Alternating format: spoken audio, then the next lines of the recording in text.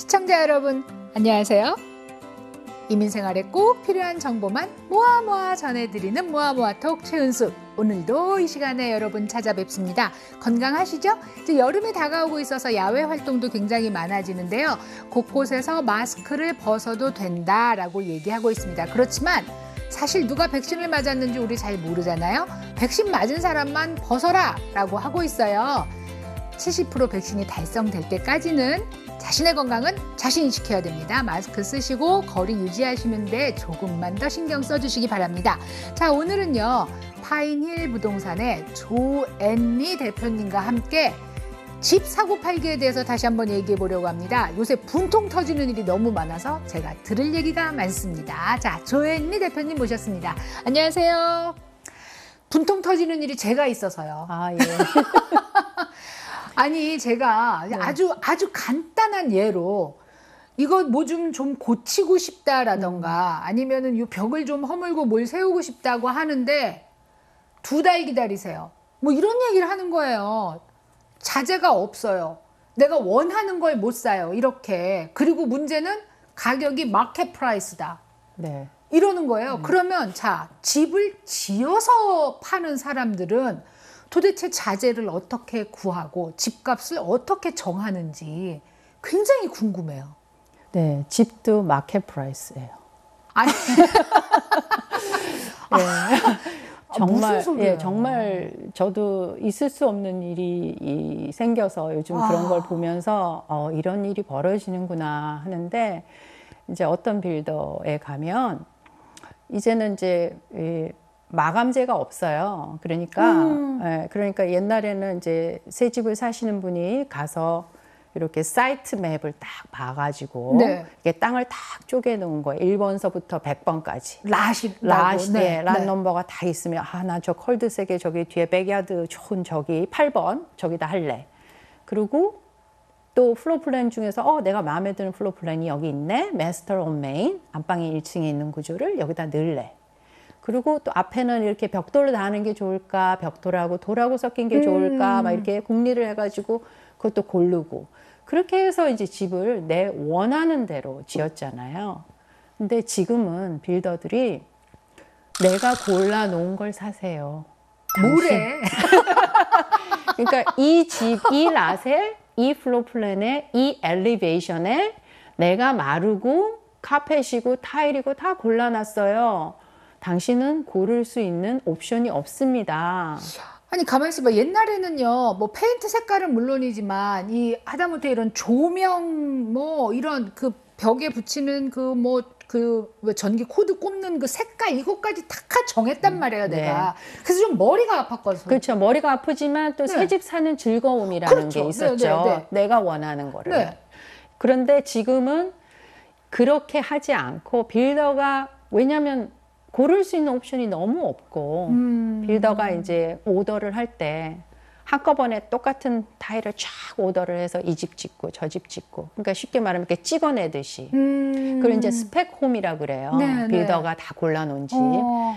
스펙홈을 옛날에는 지어놓은 스펙홈을 이제 지- 봤지만 지금은 짓지도 않은 아. 스펙홈을 예를 들어서 55만 불 옆집에 이제 팔렸어요. 그 스펙홈을 지을 거예요 라고 말해놓고 가격은 아직 안 정해졌거든요. 그러는 거예요. 가격은 다음 달에 발표하겠습니다. 우와. 그것뿐만이 아니라 어떤 빌더는 이제 엊그제 저희 손님이 가서 너무 괜찮아서 이제 핸- 하겠다고 계약을 하겠다고 했더니 미안하지만 이번 달에는 계약이 세 채만 하도록 돼 있는 게 다 됐습니다. 아니 왜요? 아니 빌더의 목적은 집을 져서 파는 데 있는데 그렇죠. 왜요? 아, 공급이 딸리니까 못 지어지니까. 자재가 없는 거구나. 네, 그래서 이번 달에는 본사에서 세 채만 계약하라고 했다고. 이제 어머나. 세채 계약이 끝났습니다. 그래서 어머나.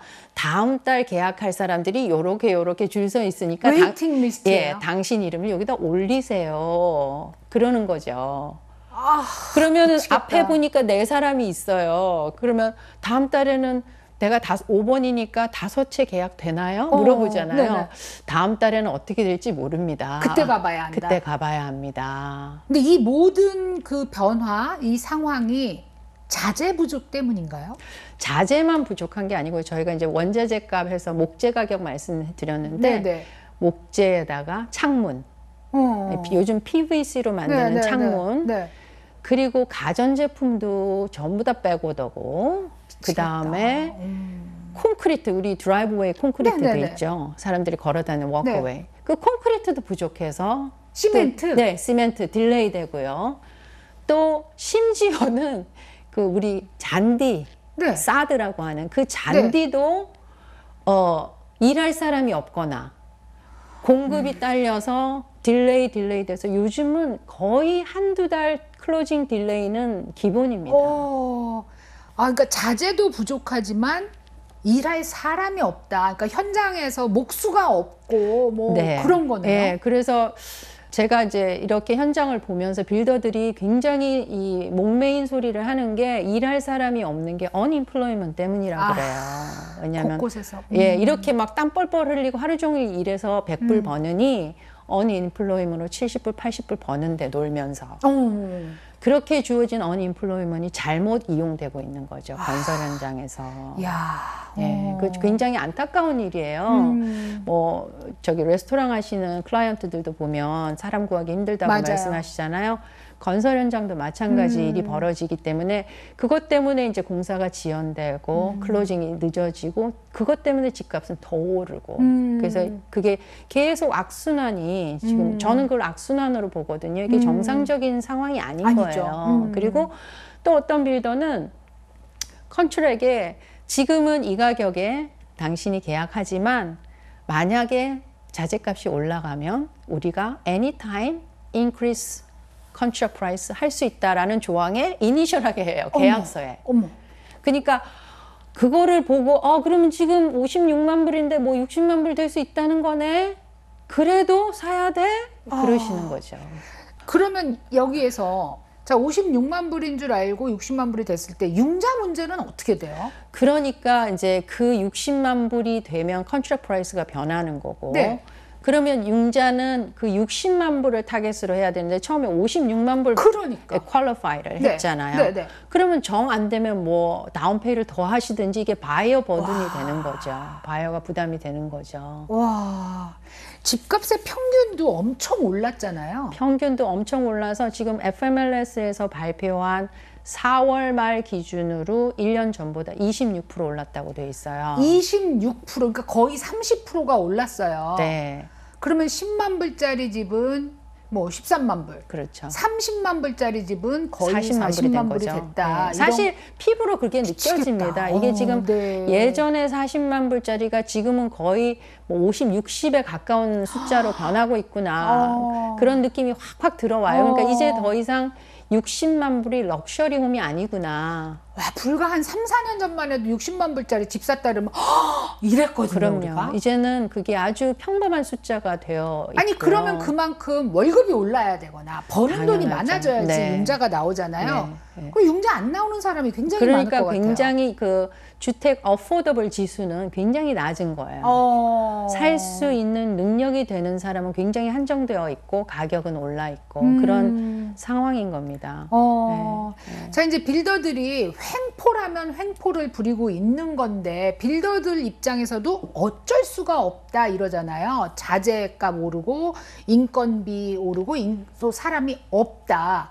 그런데도 집은 짓고 있단 말이에요. 집은 그러면은 짓는 집은 팔아야 되잖아요. 네. 그, 그 사람들도 굉장히 딜레마겠어요.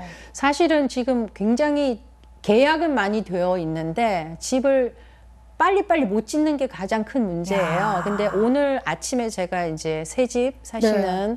바이어들하고 이제 빌 오리엔테이션을 하고 왔는데 이 빌더들도 큰 builder 이름 예를 들면 A라는 회사가 있으면 그 회사 자체에 그 직원들이 나와서 집을 짓지는 않아요. 아니죠, 그렇죠. 그 사람들은 subcontractor를 네, 이용하죠. 네, 네. 그러니까 그 subcontractor를 물론 이제 qualification을 다 보고 우리 회사의 수준에 맞게 이 사람이 음. 집을 지을 사람. 그래서 당신은 이 subdivision 1번부터 10번까지 집을 지어라 라고 이제 할당을 해주는 거예요. 네. subcontracting을. 근데 그 subcontractor들이 사람도 못 구하거나 또 일에 지쳐서 나가 떨어지거나 아. 어. 또 다른 빌더에서 이렇게 빼가는 경우도 있고 이러면 사람이 모자라니까, 예, 공석이 일단. 생겨서 아. 다른 빌더를 데리고 오는데 그 빌더가 또 경험이 없는 빌더일 수도 있고 또 바뀌고 또 바뀌고 하는 일들이 비일비재해서 프로세스가 아주 정상적으로 되지 않는 경우가 굉장히 많아요. 그래서 가서 보면 분명히 3월에 봤던 그 빌더가 아니고 바뀌어 있고 또 closing 가까이 가면 또 바뀌어 있고 이런 프로세스들을 많이 보게 돼요. 그러니까 그게 한 사람이 쭉 해서 이 집의 history도 알고 뭐는 됐고 뭐는 안 됐고 이런 프로세스를 알면 조금 저희가 신뢰가 갈 텐데 그렇게 자꾸 바뀌는 상황을 보고 있으면 어머나. 바이어들도 좀 불안하죠. 그렇죠. 예. 어. 그런데 또 그 그분들도 customer service는 신경을 안 쓴 경우가 많아요. 어. 그러니까 옛날 같으면 you work for buyer's satisfaction or happiness. 그죠? 그렇죠. 예. 그런데 그런 정신 없이 그냥 음. 해야 되는 일이니까 하게 되는 그런 좀 애티튜드가 문제가 있는 경우도 있고. 음. 아, 이제 비싸졌으니까 자기가. 네. 아이고. 그래서 뭐 그래서 저는 뭐 부지런히 이메일을 보냅니다. 어. 빌더한테. You know what? What happened in the field? 내가 느끼기에는 bad experience like this. 그러면서 막 설명을 써서 이 builder가 이런 attitude를 가지고 있고 우리 바이어한테 어. 제, 제대로 된 client service를 하지 않는다라고 저는 리포트를 해요. 그러면 이제 그 다음에 가면 잘려 있어요. 그러니까 그게 저만 하는 클- 예, complain이 아. 닐 수 있는 거죠. 그래서 여기저기 피드백을 받고 이러다가 우리 회사의 reputation에 금이 가겠다 하면은 이제 교체를 하는 거죠. 그러니까 그런 일들이 굉장히 허다해요, 어, 지금. 근데 이게 참 그 뭐 바꿨다 그래서 구관이 명관이라고 바꿨다 그래서 좋아진다는 건 또 없는 상황이네요. 맞아요. 그래서 그래서 어. 굉장히 make sure 할 필요가 있고요. 야. 그래서 이제 제가 새 집 사시는 분들한테는 꼭 private inspection을 하시라고. 음. 예. 그러니까 집이 완성이 된 다음에 마지막 closing 하기 한 일주일 전에 음. 어, 이 집이 정말 잘 지어졌는지 코드에 맞게 음. 또뭐 허술한 데가 없는지를 확인하기 위해서 음. 우리가 builder를 물론 trust 하고 싶지만 음. 그래도 내 권리를 위해서 private inspector를 고용해서 집 전체를 멀- 지붕서부터 지하실까지 다 음. 확인할 걸 확인을 하시라. 왜냐하면 만약에 그렇게 안 하시고 새 집을 사시면 나중에 이제 예를 들어서 한 5년, 6년 후에 내가 이 집을 판다. 그 집을 살 바이어가 inspection 할 때 그 그 내용들이 나와요. 네, 예. 그러면 내 돈 내고 고쳐야 되잖아요. 그쵸. 근데 지금은 빌더가 모든 책임이 있고 1년간 워런티가 있을 때에 그걸 우리가 요구를 해서 고쳐 놓는 게 좋고 또 나중을 위해서 또 더 큰 문제가 안 생기기도 하니까요. 예, 그런 걸 하시는 게 좋습니다. 이제 상황이 바이어한테 좋지는 않지만 그렇다고 집을 함부로 살 수는 없습니다. 특별히 새 집을 살 때 빌더한테 요구해야 되는 상황, 내 권리를 찾는 어떤 것들이 있는지 우리 잠시 쉬고 와서 자세히 들어보도록 하겠습니다. 모아모아톡 오늘은 파인힐 부동산의 조앤리 대표님과 함께하고 있습니다. 아, 좀 전에 이런 얘기를 하셨어요. 나오실 때마다 자꾸 집값 오른다. 뭐 좀 약간 부정적인 인상을 주는 것 같아서 굉장히 마음이 아프시다고 해요. 근데 현실을 똑바로 보는 게 굉장히 중요합니다, 여러분. 그렇다고 정말 뭐 이 셀러들이 몽땅 다 이거 뭐 내 맘대로 할 수 있다. 이건 아니에요. 법이 또 있고 또 어떤 적정선이라는 게 있단 말이에요. 어쨌든 자, 새 집을 내가 사게 됐습니다. 얼마나 기쁘고 막 이제 들떠 있어요. 그래서 놓치기 쉬운 부분들이 또 있거든요. 어쨌든 간에 아무리 상황이 좋지 않아도 이것만은 꼭 짚고 넘어야 가야 된다. 라는 것이 있다면 어떤 것이 있을까요? 내가 특별히 새 집을 살 때. 네, 새 집을 살 때 이제 이렇게 아까 뭐 랏 정하고 이렇게 사는 경우가 아닌 경우에는 이제 고를 수 있는 게 굉장히 한정돼 있어요. 근데 보통 이렇게 가서 집이 이렇게 짓기 시작했다. 이미 콘크리트를 부었고 이미 builder가 이 lot에는 뭐 예를 들어서 캔터베리라는 floor plan으로 집을 지, 지, 지으려고 작정을 했다. 그러니까 그거는 이제 카운티 이미 permit을 받은 거예요. 아. 예, 왜냐하면 permit에 방이 몇 개고 화장실이 몇 어. 개고 그다음에 square foot은 뭐고가 다 들어가게 돼 있기 때문에 어. 이미 정해진 거를 바꿀 수 없는 것들이 딱 음. 정해져 있어요. 예를 들면 이렇죠.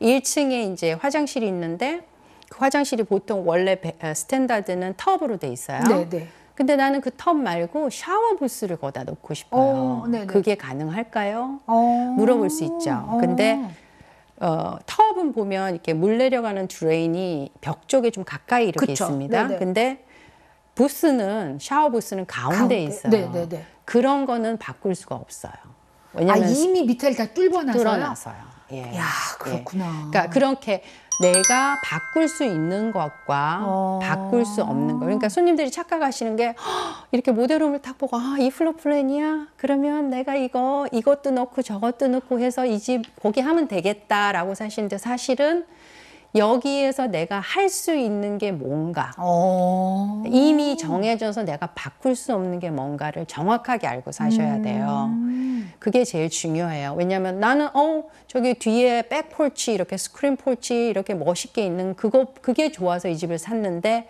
여기에는 그게 포함이 되지 않고 지금 넣을 수도 없어요. 어. 그죠? 또 나는 저기에 하얀 캐비넷이 마음에 드는데 요즘 트렌드니까 그런데 이 집은 하얀 캐비넷이 아니고 다크한 색이 들어 있어요. 근데 이미 오더는 들어갔어요. 그게 굉장히 중요하다 그러면 그건 또 안 되죠. 어. 그러니까 내가 고를 수 있는 게 뭔가 음. 어떤 스테이지여서 내가 할 수 있는 것과 할 수 없는 것에 대한 정확한 정보를 받으셔야 음. 되고요. 그 다음에 처음에 이제 그 집에 대한 그 가격이 나오면 그 안에 뭐가 들었는지 전부 다 자세하게 항목별로 요건 얼마, 요건 얼마, 추가 얼마 이렇게 이 가격표가 나와 있어요. 그러니까 그걸 보시면서 실물과 비교하는 작업을 꼭 하셔야 돼요. 한 번도 해본 적 없는 것 예, 같은데. 그걸 안 하시면 난 저건 줄 알았는데 그 소리 꼭 하시게 돼요. 제가 마루 한 번 그래서 잘못 깔았어요. 네.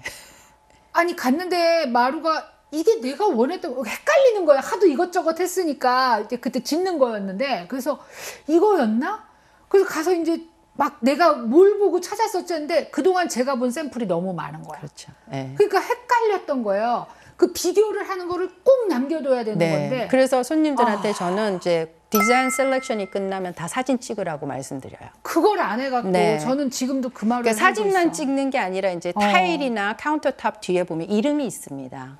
그러니까 사진상으로 비슷한데 아닐 수도 있죠. 이름 같은 예, 거? 뒤에 보면 뭐 아, Cambria 뭐 오, 번호 있죠. 네네네. 그런 걸 다 번호별로 아. 코드를 다 이렇게 보이도록 찍어 놓으셔야 돼요. 어. 그래야 나중에 내가 이거 고른 것과 paper 상에 음. paper 상에 그게 맞는지 내가 사진만 찍어 놓으면 또 모를 수 있으니까 그러니까 알아서 해주겠지라고 했던 게 네, 완전히 예, 비교를 뭐 저도 어. 찍지만 손님 보고도 찍으시라고 음. 말씀드려요. 그래서 그런 음, 과정이 좀 필요하고요. 음.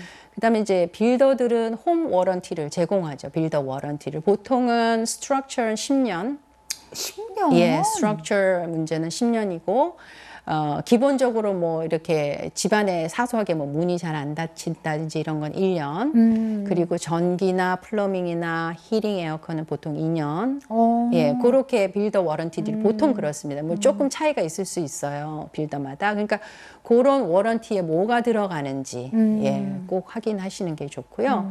또 하나는 뭐 예를 들어서 이제 deck을 어, deck이 이제 있으면 deck이 있다 없다 요것만 생각하시지 마시고 deck의 사이즈는 몇 by 몇인가.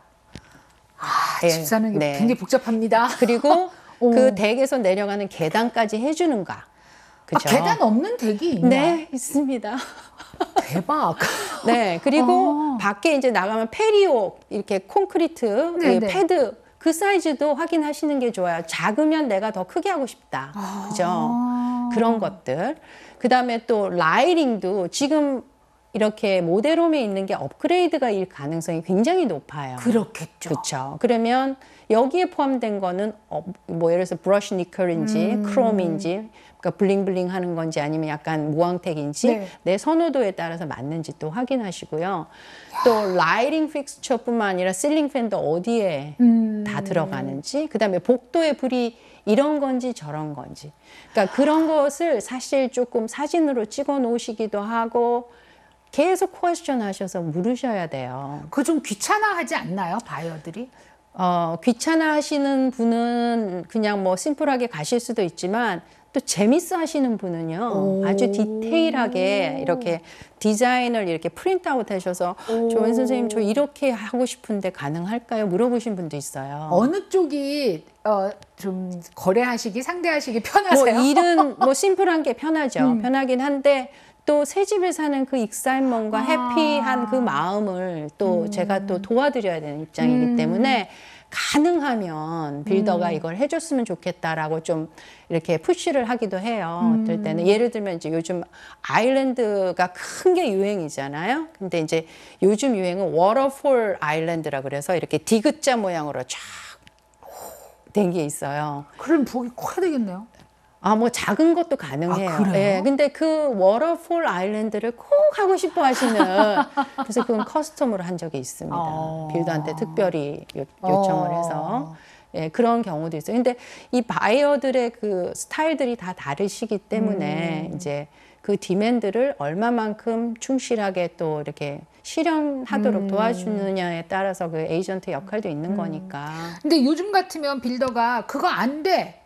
아니야, 너 그거 못해. 라고 말할 가능성이 크잖아요. 굉장히 많아요. 제가 지금 이렇게 말씀드리는 거는 지금 상황보다는 훨씬 이전이었고요. 요즘은 사실 어, 솔직히 에이전트로서 굉장히 어, 불만족스럽고 화가 나기도 해요. 왜냐하면 builder가 이렇게 예, 횡포를 부리나 그리고 심지어는 저희 에이전트 커미션도 깎으시 깎고 뭐 저희가 바- 맘대로요? 예 저희 저희가 받아야 될 이렇게 일은 많은데 커미션을 뭐 3%여서 2%로 깎은 builder도 있고 저는 그게 법인 줄 알았어요. 그 퍼센트 정해 놓은 게. 네.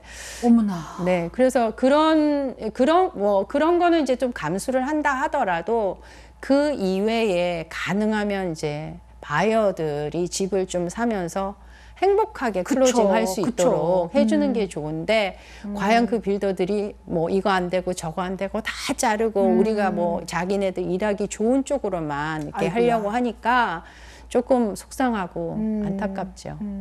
근데 이제 집을 새 집을 사도 이제 이런 상황이면은 아 내가 사서 고치지 이럴 수 있을 것 같아요. 네. 지금은 안 되지만. 많습니다. 그런 바이어들이 어. 많습니다. 근데 사서 고칠 때 아까 말씀하신 것처럼 이미 퍼밋이 나와 있잖아요. 그러면 다시 또 퍼밋을 받아야 되겠네요. 만약에 지하실 같은 경우는 그렇죠. 아. 예, 그래서 아까 아, 한 가지 말씀 안 드린 게 이제 지하실 있는 집 사실 때참 네. 저희는 그 빌더들이 지하실이라는 거를 추, 추가하면서 돈을 거의 10만 불 가까이를 올려요. 요즘 같은 경우에. 그러면 그 돈에 지하실에 plumbing 작업을 할 수 있도록 뭐 sump pump를 다 할 수 있는 plumbing 이, 이 stub을 다 올려놓을 거라고 생각하죠. 그걸 안 넣어요. 구멍만 뚫어 놓는다는 얘기는 구멍도 안 뚫고 그 공사를 어. 따로 하게끔. 그런데 참 이 builder의 에이전트도 그걸 미리 얘기를 해줘야 되는데 저희가 일일이 물어보지 않으면 네가 안 물어봐서 안 알려줬어 이렇게 되는 거예요. 그럼 지하실이 그야말로 땅 파서 벽만 붙여놨다는 박스만 있는 얘기네요. 거죠. 어머. 예. 그래서 그것도 물어봐야 되는. 그러니까 이제는 지금은 하나부터 열까지 확인해야 되는 것들이 음. 너무 많아졌어요. 옛날에는 자연스럽게 그 가격에 포함됐던 음. 거리. 입은 그 샤워 도어가 없는 샤워 부스인데 샤워 밑에 팬하고 벽 타일만 하고 도어가 없는 그걸 1200불을 넣어놓고 도어는 포함이 안 됐다고 말하는 이야. 뭐 옛날에는 그 화장지 거리, 휴지 네, 네, 거리, 네. 다- 수건 다 거리. 네. 예, 그것도 없는 게 기본이고요. 아. 그러니까 옛- 그거 없는 거 가지고 저희가 욕을 했거든요. 저 빌더 너무 그리디하다. 그랬는데 지금은 샤워에 도어까지도 포함됐나 물어봐야 되는 상황인 거예요. 어. 아 진짜 꼼꼼해야 되겠어요. 그러니까 새 집을 사면 사실은 좀 더 신경을 안 써도 된다라고 생각을 하잖아요. 굉장히 우리가. 더 많이 써야 합니다. 어. 더 많이 써요. 그나마 이제 믿을 수 있는 게 아직까지 워런티는 존재한다라는 거네요. 어. 네, 워런티는 있고요. 어, 일단 이제 집을 새 집을 사시는 분들은 아까 여러 번 말씀하셨는데 굉장히 흥분돼 있고 기뻐하고 있어서 눈에 보이지 않는 부분들이 있다라고 하셨는데요.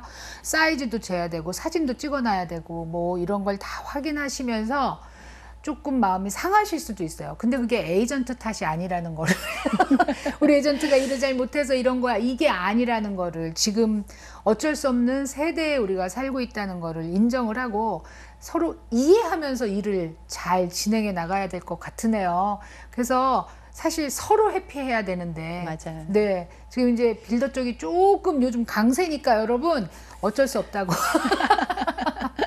그렇지만 또 내년에 어떻게 될지 모릅니다, 여러분. 앞으로 어떻게 될지 모르니까요. 급하지 않으신 분들은 조금 더 기다려 보면 어떨까도 싶어요. 이러다 오르면 저 때리러 오지 마세요.